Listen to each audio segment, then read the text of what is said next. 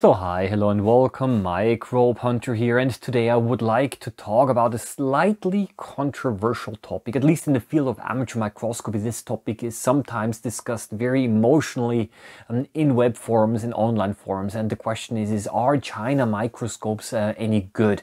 And if you're not uh, yet so familiar with uh, microscopy. I need to explain this a little bit to you what this debate is. I think it's an interesting debate, uh, uh, but I don't uh, myself, I'm not getting involved into this uh, because uh, I think, yeah, there are different opinions and I understand both sides. Okay, but I need to explain this first. You have to understand that um, over the last uh, couple of years, um, yeah, more and more relatively low cost microscopes um, have started to flood the market. Um, and those microscopes, of course, are manufactured uh, in China. I say, of course, because uh, this is uh, the country where many of the products uh, that we are using here uh, are actually manufactured. Um, and those microscopes are manufactured there, then they are exported uh, to other countries and they're rebranded. So this means that uh, yeah, the company that imports it uh, will do a you know, quality check on them, will put their own uh, brand uh, name on it, and will sell it then. And this is also one of the reasons why many of those microscopes, even if they're sold by different brands, they look very, very similar. As a matter of fact, even identical. And even if sometimes the microscope body looks different, if you look at the objectives of the microscope, often they are the same. Or there are other parts that are quite the same, okay? Um, so if you just look a little bit more carefully, you're going to realize that many of the microscopes that you can find on Amazon and all on online shops are actually more similar than you might expect. Even at the first glance, it might look different, but look at the details, ah, they're using the same parts, okay? And uh, this is um, often the case. Uh, the microscopes are all manufactured, or many of them manufactured in China, um, to relatively low costs. And when I say relatively low cost, then I'm talking about a maximum price of a few hundred dollars or euros. So if you are buy yourself a microscope, let's say of two, 300, 400 uh, euros or dollars, chances are pretty good that uh, it was manufactured in China and then rebranded um, and with a brand name on it, and then you yeah, buy it. And you can use it then, of course, and uh, you think that it is actually a brand, uh, was manufactured somewhere else, but actually no, it's uh, from China, okay? Even if the, the, the, brand name is actually a local, um, a local brand. So theoretically, I mean, I'm not doing this. I'm not in this business. But theoretically, what I could do is, is I could uh, do the same thing. I could uh, go to a Chinese uh, manufacturer and uh, request that they put uh, my brand on it. I don't know, Microbe Hunter, because that's the name of my YouTube channel. And then uh, basically I can import it and sell it over Amazon. Okay, um, pretty much anyone could do that, right? Um, I do a basic quality check, of course, to make sure that my customers are happy because I do not want to damage my brand and yeah, uh, it's relatively easy to do that. I'm not going to do this. I have no intentions to do that, but theoretically that would be possible. Um, and uh, those China microscopes um, have become quite popular in the last uh, couple of years. Um, and I consider them, most of them, uh, pretty good for their money. Okay, um, there are a couple of um, exceptions, um, but uh, generally I consider them pretty good for their money. And uh, this is already the cause uh, for some of the controversy because what does pretty good mean? Because different people will have different uh, quality expectations and uh, different expectations to the microscope. And uh, so whether a microscope is a good or bad quality does not only depend on the microscope, but also on your own quality expectations. And the controversy in the field of amateur microscopy even goes that far that some people are saying, well, it's actually much better to for you to buy a brand microscope. And when they say that, when they say a brand microscope, then they're referring to the big traditional brands like Nikon, Zeiss, uh, Olympus and Leica, the traditional microscope manufacturer. I always like to call them the big four. Yeah, It's better, they say, to buy a microscope, a used microscope of the big four, um, because for the same price amount of money, you will get more value, uh, whatever value means. Okay, I understand that different people have different uh, quality considerations. Yeah, and yeah. so and that is basically the the one view. Okay, buy yourself a brand microscope, even if it is used. And the other um, view is is don't do that because uh, when you're buying used microscopes, you're not experienced enough yet, and you don't know what you're buying, and so on.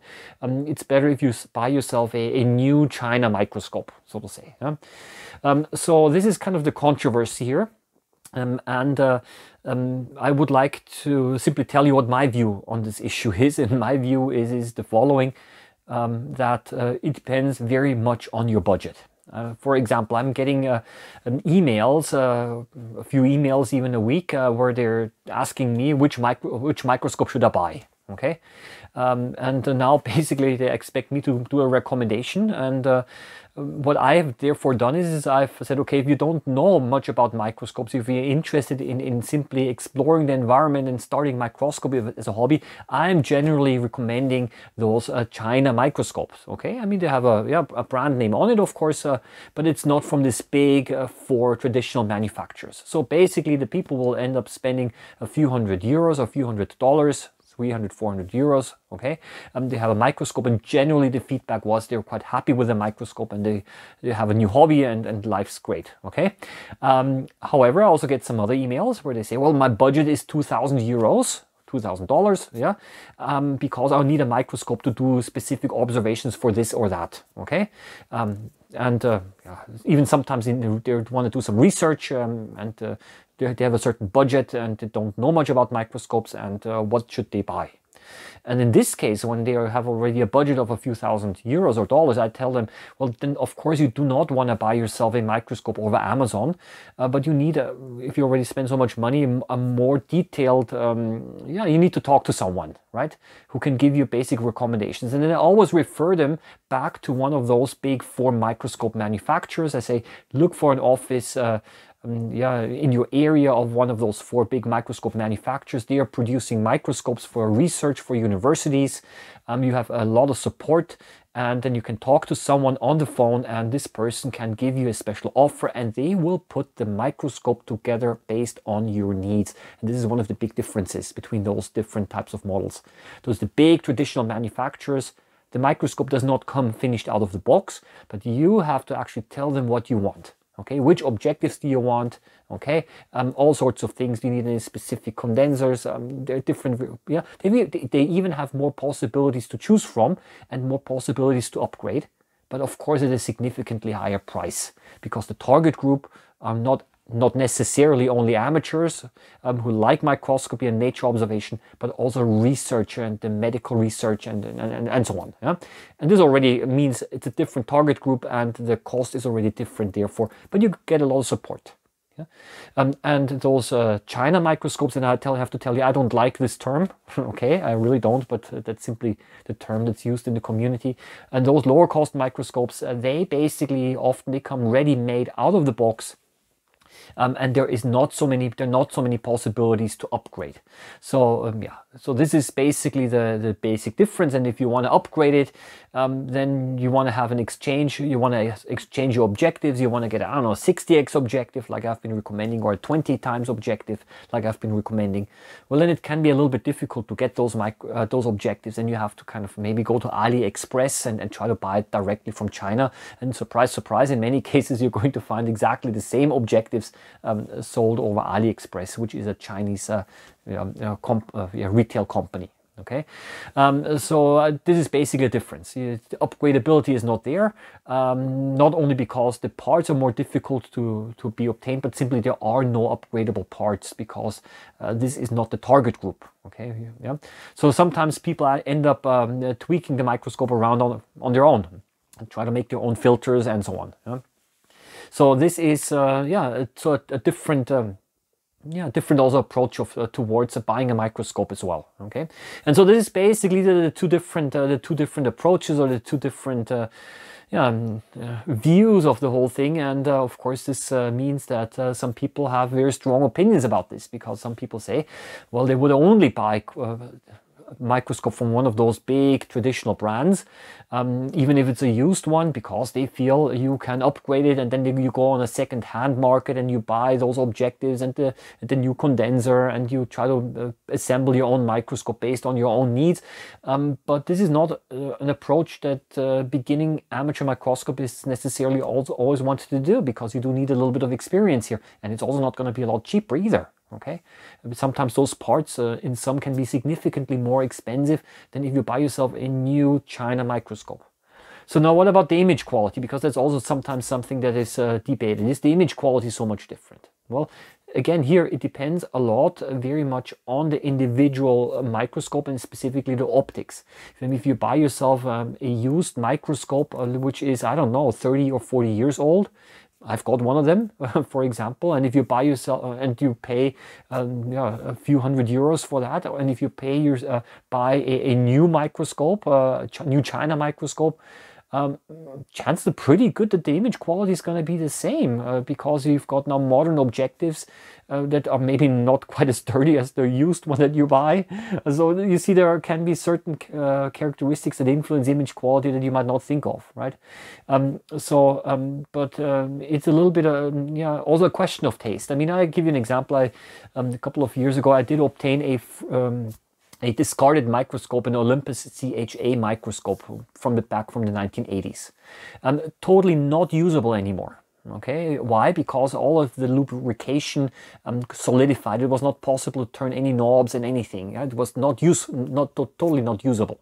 It had to be really cleaned. I did not want to do that uh, because uh, uh, cleaning the, the focusing system is, is an elaborate task. So I called the, um, in this case, the Olympus Servicing Company, certified uh, um, servicing company, and for 200 euros, uh, they completely took apart the microscope, they cleaned it, and everything works like new. Okay, um, and then I bought myself for 300 euros a phase contrast set. Okay, so 500 euros. Okay, um, for that uh, price, uh, you can already get a new microscope. Yeah, but you see, uh, it's a different thing a little bit. Um, yeah, the approach is different, um, and uh, you can not really compare the different approaches. But for 500 euros of phase contrast, is actually, um, yeah, it's actually cheaper. okay, um, but the point that I'm trying to make here is, is that a lot is also maybe um, a question of personal preference and a personal taste. And um, I think I don't know if I've already said it in this video. The best microscope is is the microscope that you end up using the most. Okay, and, and for this, this is one of the reasons why I'm not getting involved in the debate. Are China microscopes any good, or are brand microscopes any good or not good, or how are they better or not better? Um, it's also, yeah different people have different preferences, you know, and uh, um, generally uh, I'm open for everything and I see advantages and disadvantages for all things. And yeah, um, and if I if you have specific needs, uh, also specific research needs, and of course this also limits already your choice of microscope right right from the beginning. And the more you know what you want to use the microscope for, um, yeah, the more satisfied you're probably going to be um, at the end with your choice of model. And don't forget one thing: sooner or later you might outgrow your microscope, um, and uh, then you already know what else you want to buy. Okay. Well, I think uh, that's enough for today.